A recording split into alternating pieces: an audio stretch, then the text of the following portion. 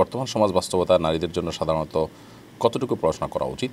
তাদেরকে কী ধরনের শিক্ষা গ্রহণ করতে শরীয়ত উৎসাহিত করে এবং তাদের শিক্ষালয় পরিবেশ সম্পর্কে আলোচনা করবে বলে আশা করি। দেখুন, পরিষ্কারভাবে আমি একটা কথা বলতে চাই। তা হলো, মৌলিকভাবে কোরআন এবং সুন্নাহ তথা ইসলাম চায়। আল্লাহ সুমাতাল্লাহ সৃষ্টি করেছেন যেভাবে। তা হলো, মেয়েরা বাসা বাড়িতে এবং তারা ভেতরকার সাইড ইন্টারনাল সাইডটা তারা দেখবেন এবং বাহিরের যত ঝক্কি ঝামেলা আছে সেগুলো পুরুষরা পোহাবেন। অতএব মেয়েদেরকে বাহিরের ঝক্কি, ঝামেলা পোহাতে শরীয়ত বাধ্য করেনি এবং তাদের উপর শরীয়ত চাপায়নি। আমরা আজ গোটা বিশ্বব্যাপী নানা কারণে নানা প্রপাগান্ডার কারণে আমরা মেয়েদেরকে বাইরের ঝক্কি, ঝামেলাও তাদের উপর চাপিয়ে দিচ্ছি এবং সেগুলো তাদেরকে পোহাতে বাধ্য করছি। শরীয়ত সেটি চায় না। এটা হলো মৌলিক কথা। আর এর বাইরে একজন নারীর শিক্ষা অর্জনের কোনো সীমা পরিসীমা নেই। তিনি শরিয়ার সীমানা এবং গণ্ডির মধ্যে থেকে যদি অনেক অগাধ নলেজ অর্জন করেন শরীর সেক্ষেত্রে কোনো বাধা দেয় না। এবং আমাদের আয়সাদুল্লাহ তালানহা করম হাদিসের ব্যাপক জ্ঞান অর্জন তিনি করেছেন এবং তার জ্ঞানের গভীরতা ছিল অনেক বেশি, যেটা অনেক পুরুষ সাহাবিরও কিন্তু ছিল না। আল্লাহ সুমা তারা এরকম অনেক নারীদের মধ্যে অনেক মনীষী রেখেছেন যারা মুহাদ্দিসা ছিলেন, যারা হাদিস শাস্ত্রে অনেক বড় পাণ্ডিত্য ছিল, যেটা অনেক পুরুষদেরও ছিল না।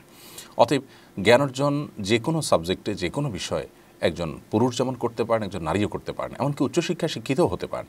কিন্তু প্রথম যে কথাটা আমরা বলেছি মৌলিক, সেটি মাথায় রাখতে হবে যে মেয়েদের কিন্তু ইসলাম তাদের কর্মস্থলকে ভেতরে রেখেছে, বাইরে নয়। হ্যাঁ কোনো মেয়ে যদি তার জীবন ধারণ করবার জন্য বাইরে যাওয়ার প্রয়োজন হয়। শরিয়ার সীমানার মধ্যে থেকে তিনি সেটা করতে পারবেন এবং বাইরে যেয়ে কাজও করতে পারবেন এবং নবী করিম সাল্লাহ আসলামের যুগে সাহাবিদের যুগে মেয়েরা কোনো কোনো ক্ষেত্রে তারা বাইরে কোনো কাজ অর্থাৎ বাজারে অমরদুল্লাহ তার সময় বাজারে আপনার কেনাবেচা করেছেন এমনটিও প্রমাণিত হয়। তার মানে যার কোনো উপায় নেই তিনি তার পেট পালার জন্য, তার উপার্জনের জন্য তিনি তো বাইরে যাবেনই। তাহলে খোলাসা কথা হলো, মেয়েরা তারা তাদেরকে দিয়ে বাহিরে পুরুষদের মতো র্যান্ডমলি কাজ করানো হবে বা এই জগতে তাদেরকে টেনে আনা হবে।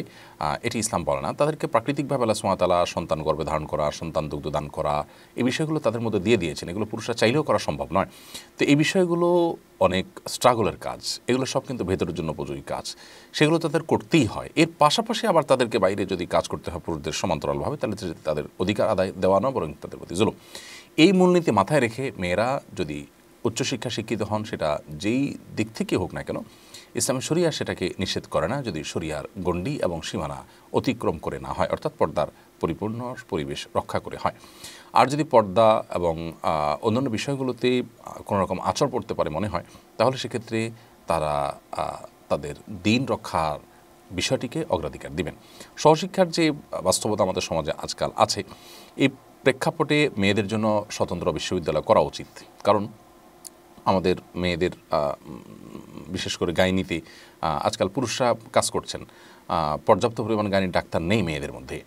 আমাদের প্রচুর পরিমাণ মেয়েদের ডাক্তার যেমন হওয়া উচিত। দাঁতের ডাক্তার যদি একজন মেয়ে হতে পারেন, তাহলে সেক্ষেত্রে মহিলা যে রোগীরা আছেন, তাদেরকে তিনি সার্ভিস দিতে পারবেন। না হলে একজন পুরুষের কাছে তার দাঁতের ট্রিটমেন্ট করাটা, এটা তার জন্য নানান দিক থেকে বিব্রতকর এবং একজন পর্দানসীন, আত্মসম্মান বোধ সম্পন্ন নারী এটিকে ভালোভাবে নিতে পারেন না। অতএব এরকম একটি দুটি নয়, বরং বহু পেশা আছে যে পেশাগুলোতে নারীকে অগ্রসর হয়ে আসতে হবে, সেটা নারীর কল্যাণে বিধায় এই সমস্ত পেশায় পড়ার জন্য উপযোগী পরিবেশ নারীদেরকে দিতে হবে এবং নিশ্চিত করতে হবে এবং সেজন্য নারীদের জন্য স্বতন্ত্র বিশ্ববিদ্যালয় থাকা উচিত। নারীদের জন্য স্বতন্ত্র কলেজ যেরকম আছে, ইডেন মহিলা কলেজ, তাদের জন্য স্কুল আছে বিকারণের স্কুল সহ এরকম।